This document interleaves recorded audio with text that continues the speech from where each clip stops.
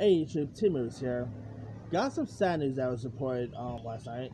It was reported that Richard Donner, who gave us um, iconic movies like the original Superman from 1978, as well as the Lethal Weapon films, has sadly passed away at age 81. I mean, Richard Donner, he was a legend in his own part. I mean, the guy gave us, I mean, he pretty much um, believed that, you know, a man could fly with the original Superman, you know, with Christopher Reeve in it. He gave us obviously one of the best buddy cop movies of all time, Lethal Weapon. Uh, he's done some other stuff. Uh, he also done you know the original Omen movie. Uh, he gave us the Goonies, which obviously is one of the best uh, you know coming of age adventure movies of the '80s. Uh, he gave us the Bruce Willis movie Attack the Block. Uh, he's directed some other TV shows as well.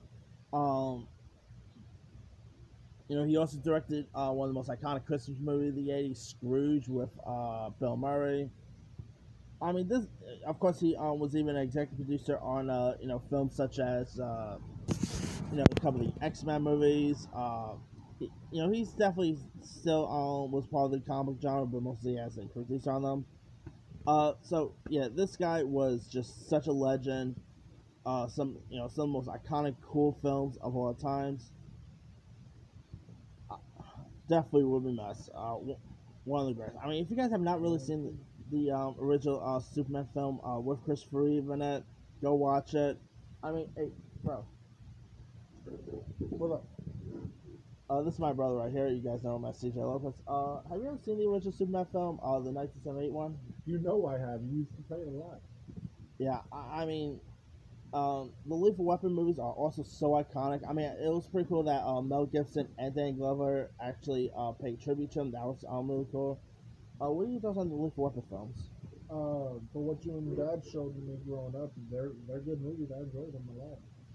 Yeah, I mean, he lived a pretty good long life. I mean, 81, not so bad. Not to mention Girl with the Gun Leg. Gotta love it. Yeah, so, I mean, um, The Omen is, if you guys have not seen The Omen, that movie's creepy. Goonies, such a really cool resume. The guy will be nice let me leave you guys. Uh, what are some of your favorite Richard Donner films? Uh, what some films do you, uh, you know um, remember most of? Drop comments below. Don't forget to like, subscribe, hit that bell for notification. This is Tim Movies and RIP Richard Donner. And this is my brother CJ Lopez. Here, guys.